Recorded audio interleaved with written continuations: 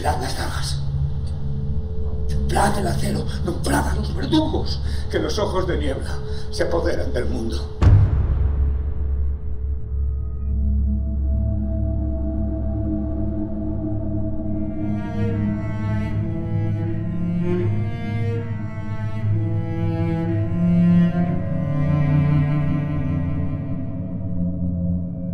Sois osado, Orleton.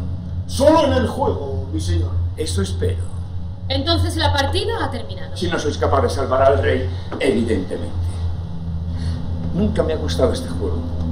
El rey solo dispone de movimientos cortos, mientras que la reina lleva todo el peso de la batalla.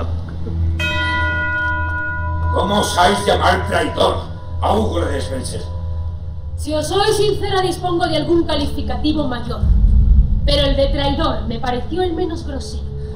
¿Por qué seguir reclamando unos sentimientos que sabéis que jamás podré otorgar? Porque soy la reina y merezco un respeto. ¡Os odio! ¡Os odio! ¡Os odio!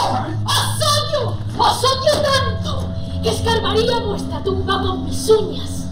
Sois ingenuo, Isabel. Y vos un cínico. ¡Yo soy el rey!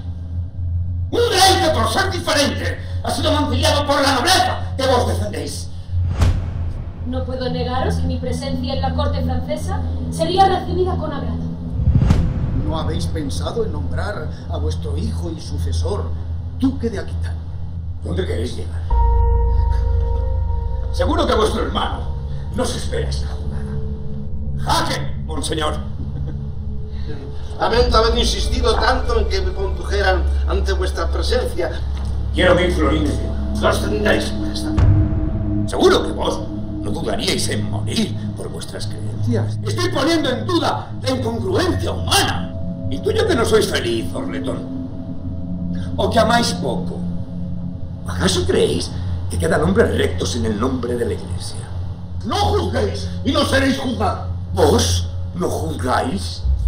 Dios quiere que nos amemos unos a otros. No, os equivocáis. Según vuestras enseñanzas, Él quiere que nos amemos unos estaréis deseosos de conocer noticias de Os Inglaterra. aseguro que mi único deseo era volver a veros. Armaremos un ejército para volver a Inglaterra y derrotar a esos advenedizos. Majestad, corren tiempos difíciles. Voy a pagar los préstamos.